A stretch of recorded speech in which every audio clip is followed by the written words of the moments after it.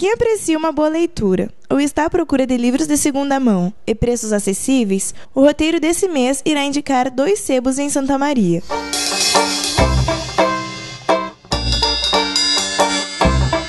Os sebos são conhecidos pela compra, venda ou troca de livros de segunda mão e também são procurados muitas vezes por possuírem obras raras e valiosas. Depois de ter trabalhado 19 anos como bancário, aí eu iniciei com livros que eram uma uma ideia que tinha por, por, por ser consumidor. Eu sempre que, que procurei livro, eu procurei em, em, lugares de usados. Eventualmente aparecerem livros que já não são mais reeditados, naturalmente, né?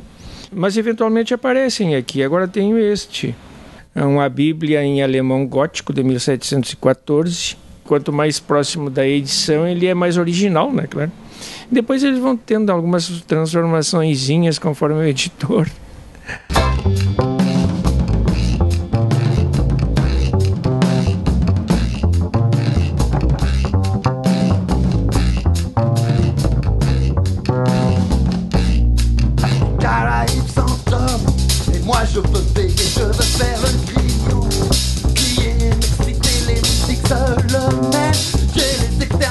Então, eu já conhecia os proprietários já há muitos anos, há 15 anos ou mais, e eles me convidaram para trabalhar quando eles vieram para Santa Maria. Eu vim também estudar. E aí abriu a oportunidade, como eu já conhecia livros, trabalhava com livros, então me convidaram a trabalhar, vim trabalhar com eles aqui. Tem uma obra muito antiga aqui e é isso que me atrai muito nos sebos. Já tem obras novas de outros atores também que eu já li muito, mas O Pequeno Príncipe ainda é um dos livros que eu gosto de ver, encontrar em alguns sebos e aqui casualmente está ele, o menino do pijama listrado. É muito bom, ele te passa muitas coisas, muitas aventuras e te coloca você numa em outro mundo, em outra geração, o qual faz você pensar realmente se aquilo ocorreu ou não ocorreu e o que tu pode fazer para que isso mude no futuro. Além da venda de livros, alguns sebos também realizam outras atividades culturais, como é o caso do Sebo Café, que realiza campeonatos de xadrez, roda de música e poesia, entre outros.